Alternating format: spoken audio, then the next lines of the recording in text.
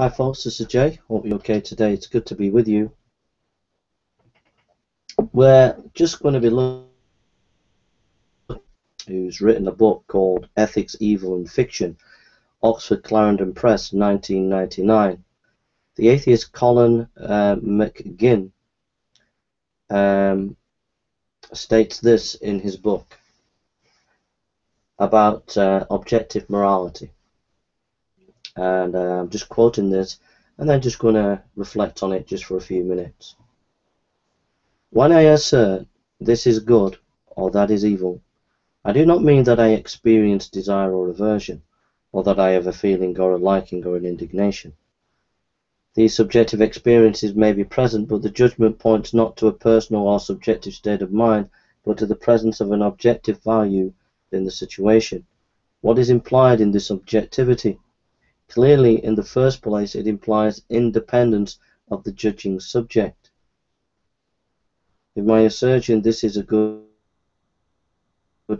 is valid, then it is valid not for me only, but for everyone. If I say this is good and another person referring to the same situation says this is not God, one or other of us must be mistaken. The validity of moral judgment does not depend upon the person by whom the judgment is made.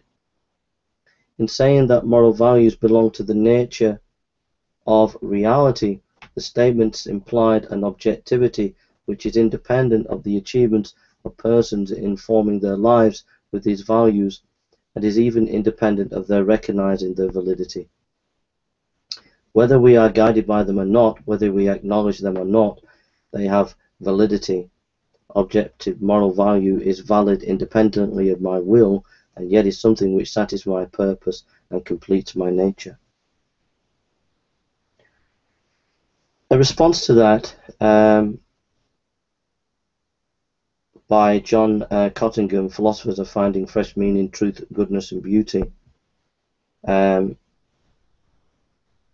we read, since McGinn accepts the first premise of the moral argument, he suggests that it is possible to detach moral objectivity from any world religious worldview, so that we do not need to believe in God in order to find morality both important and binding.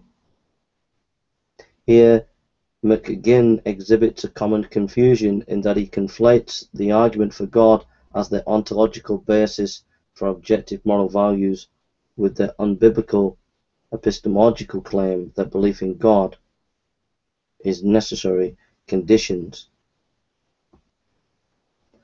Now, what do I think about this? Uh, my thoughts.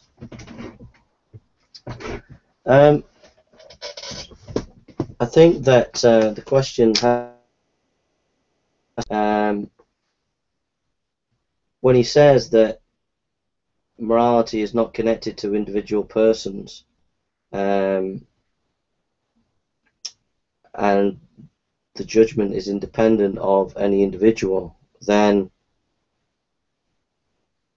Christians would not disagree with that. Christianity would not disagree with that in terms of human persons. But the question is, um, where does he locate the objective morality? He can't get out of the is ought distinction. He can't get out of the naturalistic fallacy. So how does he get out of the problem? To say that reality is is the way it is, and, and that reality shows us what morality is, that that's not possible because nature can't tell you what morality is. So he's he's trying to detach himself from personhood and give some kind of objectivity to morality. But it, it's difficult to see where he might locate that. If he locates it in an idea, then where is that idea sustained? How is that idea sustained in terms of who states that idea, who produced that idea? So if he tries to argue for a physical objective morality, he tries to argue for a Platonic idea. Either way, he still doesn't get objective morality.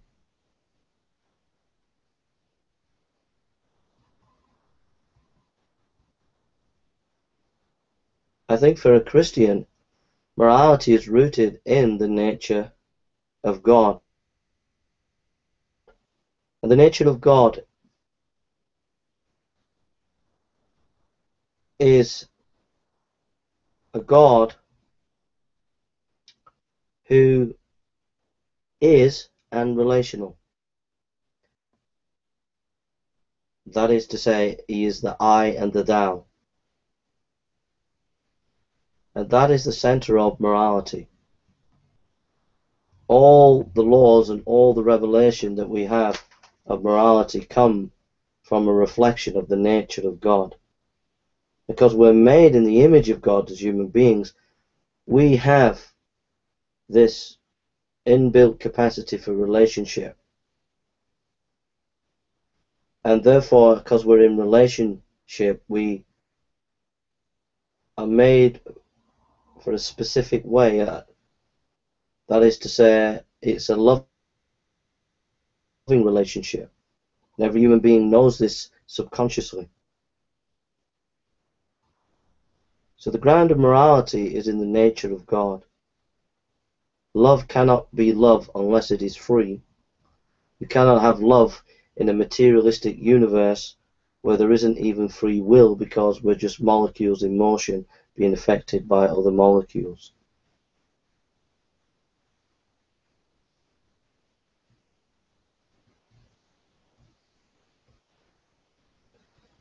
So I think that for me, uh, the way I understand that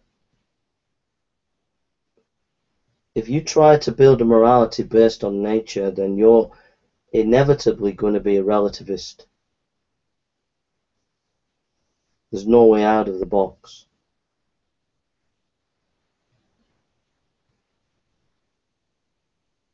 But if you believe in God, then there is necessarily right and wrong. There is good and evil.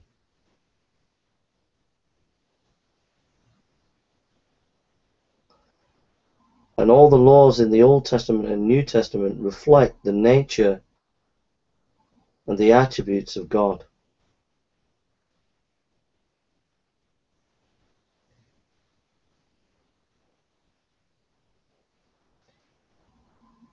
As to there is a historical reality that there is a development.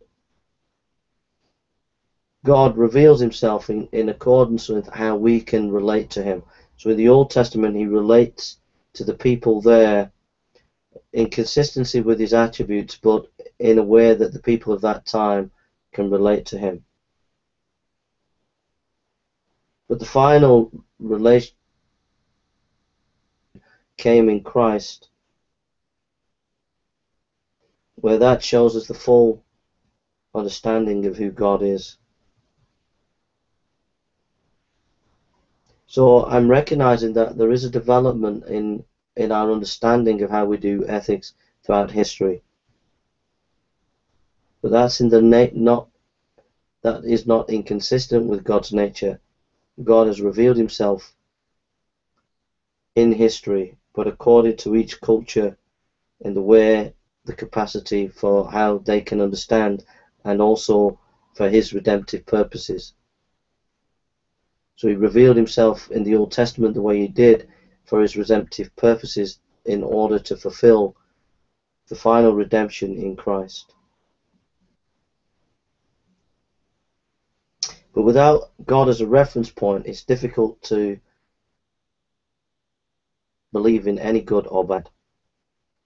Because at the end of the day, you are allowed to do what you want.